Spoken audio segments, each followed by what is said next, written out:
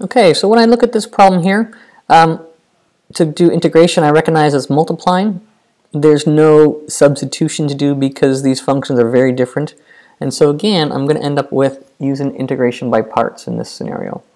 And so I have to choose my u and my dv. And my guideline for choosing my u is the polynomial or ln x. There is no polynomial here. There is no ln x. So I have to be creative. And what I do know is I know that integrating e to the x is quite simple. And so I'm going to use e to the x to be my dv. And so my u, I'm going to make my u,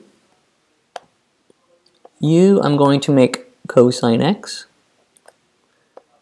cosine x, and then my dv is going to be e to the x dx.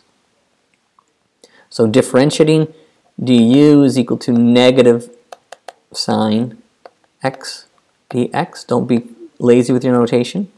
And I take the integral of this side. The integral of this is just e.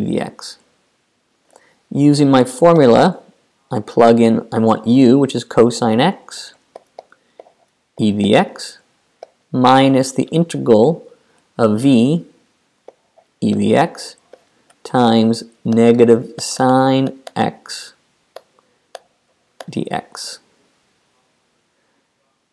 Well, it seems like have it seems that I've really done nothing other than make a new integral that looks very similar to the original integral.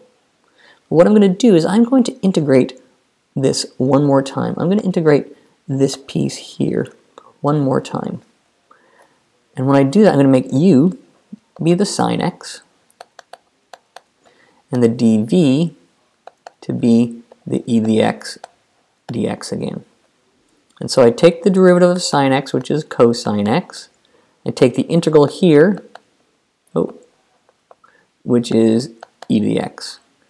And I'm going to go and substitute that in. So I know I have I know that this integral here, my initial integral, cosine x e to the x dx, is equal to cosine x e to the x plus, well now I'm going to do this integral here, uv, which is u, u, v times e to the x, minus the integral of my v, du, my, my v du cosine x dx.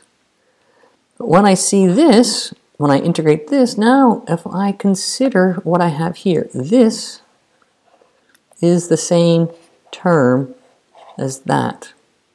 And so I'm going to add it over to the other side. And when I do that, I end up with two integrals of cosine x e dx is equal to cosine x e dx plus sine x times e dx. And then I'm going to just divide everything by 2. And so the integral of cosine x e dx is equal to 1 half cosine x e dx plus 1 half sine x times e x plus c. And so in this case, I have to do not only integrate by parts twice, but then I have to collect like terms in order to get the integral that I'm, that I'm looking for. And one of the things that helps me know that is the cyclical nature of cosine x. Cosine x's derivative and sine x derivative they are cyclical in the sense that they go one to the next to the next to the next and so on. And so with that pattern, I can usually combine the similar integrals together.